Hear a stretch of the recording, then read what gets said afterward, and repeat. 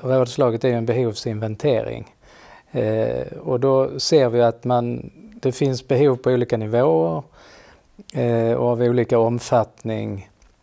Eh, och nu gäller det för oss att strukturera det. Man kan inte göra allt på en gång utan vi jobbar med en strategi nu. Hur ser läget ut idag om man skulle sammanfatta det? Det är en väldig spännvidd. Det finns eh, skolor som ligger långt framme och som är duktiga på att använda det digitala mediet både pedagogiskt och, och till, för tillgänglighet till olika grupper. Och sen finns det de som eh, nästan inte kan stava till digitalt. Eh, och det här är naturligtvis utmaningen. Att göra insatser så att eh, det blir ett lyft över hela bredden. Men eh, vi har gott hopp när vi tittar på frågan. Rent konkret, hur ser planerna ut för att möta de här utmaningarna? Ja, för det första kommer ju det här rådslagsarbetet, Det den finns en grupp av eh, kontaktpersoner som kommer att fortsätta.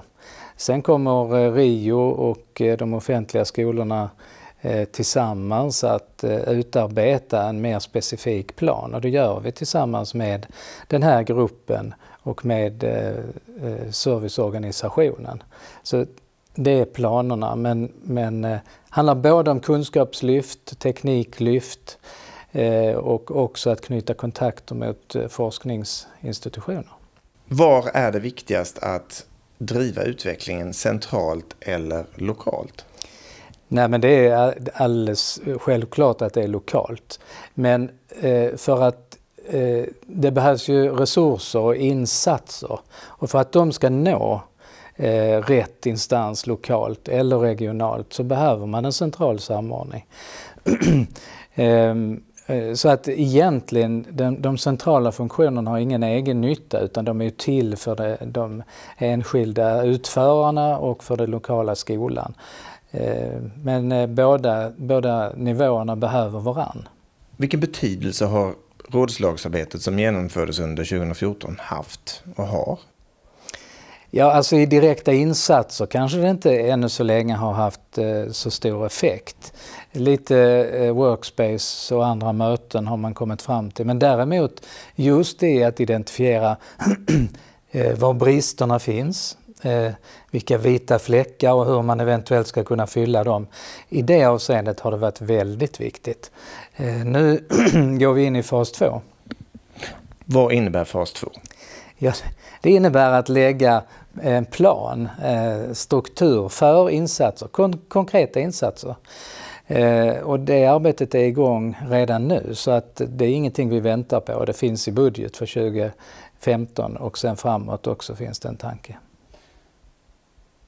Om man tittar på allt som folkbildningen gör, hur, viktigt, hur viktig är den här frågan?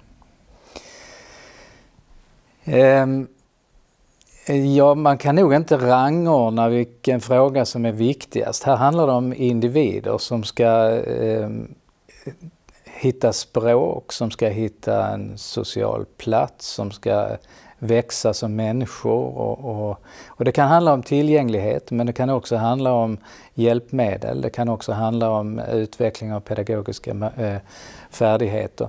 Så att eh, det här är ju ett medel och ett instrument. Hur hoppas och tror du att den digitala utvecklingen inom folkbildningen ser ut de närmaste fem åren?